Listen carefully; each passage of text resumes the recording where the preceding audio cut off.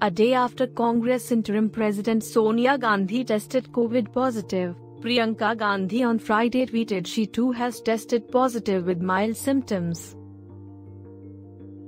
Following all the protocols, I have quarantined myself at home. I would request those who came contact with me to take all necessary precautions, the Congress leader tweeted. On Thursday, Priyanka Gandhi had cut her visit to Lucknow short and returned to Delhi after Sonia Gandhi tested COVID positive. No reason was given for the sudden change of schedule.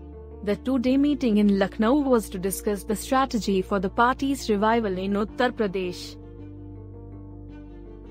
Sonia Gandhi had developed a mild fever on Wednesday evening and was tested for COVID on Thursday. She was found positive. Prime Minister Modi tweeted on Thursday wishing Sonia Gandhi a speedy recovery. News Desk